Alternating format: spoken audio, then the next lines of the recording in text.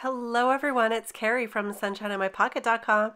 Today I have a fun project for you, actually a couple fun projects for you. Using this ginormous alpha stamp set. This is the farmhouse font stamp set from Maker Forte. Now compare this to a regular 6x8 stamp set and here's a 4x6 stamp set. You can see that this alpha set is so big. It's an 8 by 12 stamp set. So not only is this stamp set good for cards and paper crafting, it's also good for home decor and a bunch of other things. So today I'm going to make a card. I'm also going to talk about different ways to use a stamp set that's an alpha set. And I'm also going to make a home decor project. So I'm going to take out some letters here and we're going to spell the word Santa like a little letter to Santa maybe. Um, this A, though, I'm going to replace with some images. I actually have this set here that has a Santa head. I thought that was a little too small for replacing it, so I took out the shirt that's in there as well, which is kind of like a beachy Hawaiian shirt, and that's going to replace that A. Now, Maker Forte also has this stencil to help you line up your letters perfectly, get them straight, and space them out right. And so for this slimline card, I'm going to use this here to help me get my letters straight and space them out perfectly. So you can see there's a little line on each box that shows you the center of the box. And it's hard, a little hard to see in the camera, but there are little boxes with lines in them to help you get this perfect. Here we go, it's all lined up. So I'm going to pick that up with my MISTI door and then I'm going to remove that stencil, put that away for next time. And I just wanted to mention you could stencil inside that rectangle box there and create like a shadow or a uh, an inked background for your words to go on. And we'll stamp out these letters.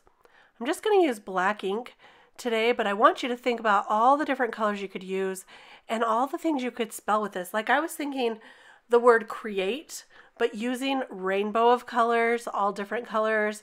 You can do pastels, you can do brights. It would be so pretty and lots of words you could do. I also stamped out the Santa and the shirt. And also one thing I love is the shirt has an inside piece that you can stamp flowers onto it. So if you don't want a plain shirt, you can certainly decorate it up with this set. The goggles on the Santa head says vibes in it. So it says Christmas vibes. And I thought I would color those in to look kind of like sunglasses. So darker goggles here. So it's going to really say Christmas Santa when we're done, which I thought was kind of cute.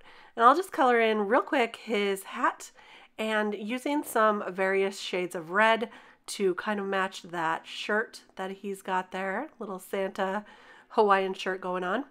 Another way I really love this font is because these letters are so large, it would be simple to make some monogram cards. And monogram cards are great, or monogram tags, so you know who you're giving that to. Just use the first initial of their first name or their last name, whatever you want to do. Just an initial card. Be really cute.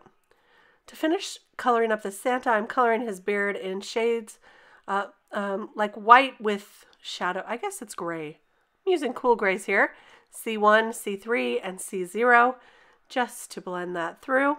Simple, simple coloring. Now, I don't have a card to demonstrate the monogram idea I had, but that would be a good one. And also, these letters would be great to stamp really soft in the background to create a letter background. So there's another idea for you, a lettered background. For this Santa card, I wanted to get the right measurements for layering this card to cut my red piece. So Maker Forte has this layering guide that is really great for reference to know just how big to cut each piece. So I cut down that Santa panel, I cut down the red panel using the measurements in that guide, and then I'm gluing this to my slimline card. And just like that, we're almost done. I'm just going to glue on the Santa shirt and the Santa head we're going to pop up with foam tape. So how cute is this? Just a real simple, easy card, but super fun. Now, there's lots of Christmas words you could use too, like merry, bright, joy, peace, love, hope. Lots of words you could build with this set. It'd be super cute. So there we go. There's our Santa card for the inside. I'm going to take this stamp set that says make a note. You made it on the nice list this year. I love this stamp set. There's lots of great sentiments that you can use for the inside of your card as well. Most often I don't stamp the inside of my card because I like to leave a lot of space to write a message. But today I thought it would be fun to use this one.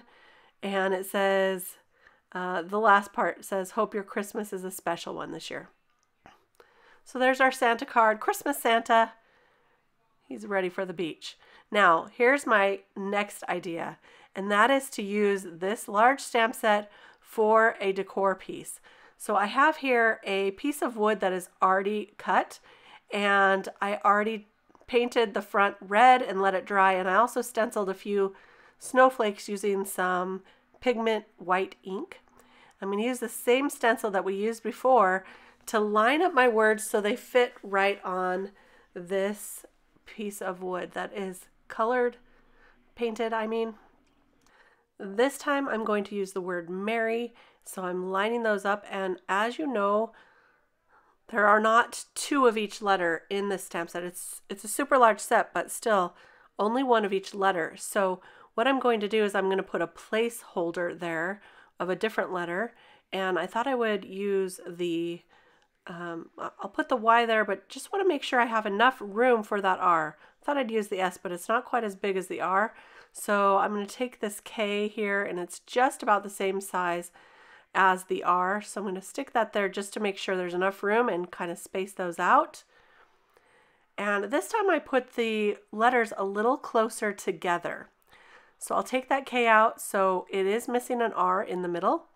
And since this block of wood will not fit in my MISTI, I'm going to use an old time, old school Fiskars stamp press. This is from back in the day. I learned about this stamp press from Kristina Werner and I still have it in the back of my drawer. I never, I hardly use it, but this is perfect occasion.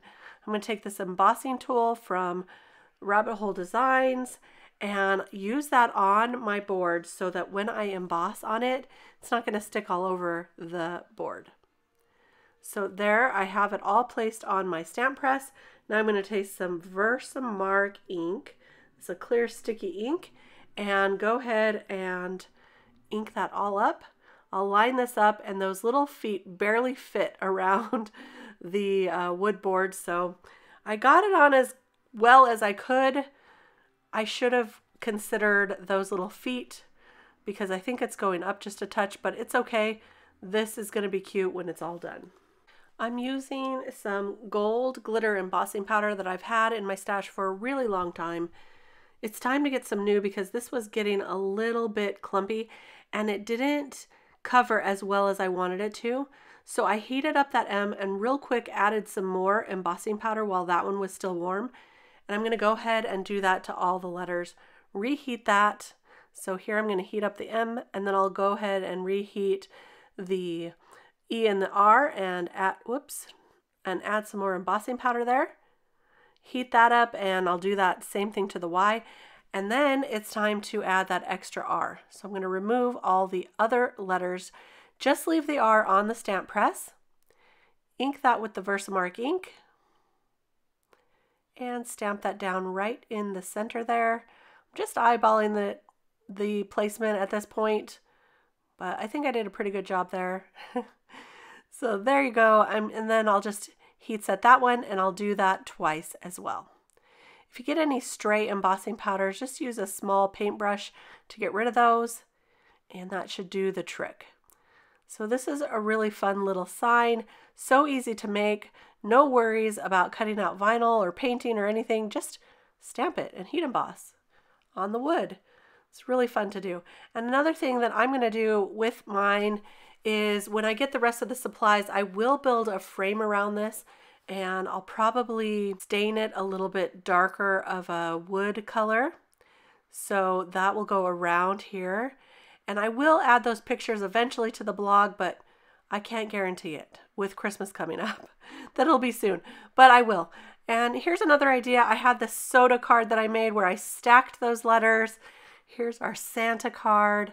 And then don't forget the home decor piece. So lots of ways to use the large farmhouse font or any alpha set that you might have. I hope you enjoyed this video. If you did, please give me a thumbs up. It really helps me out with YouTube.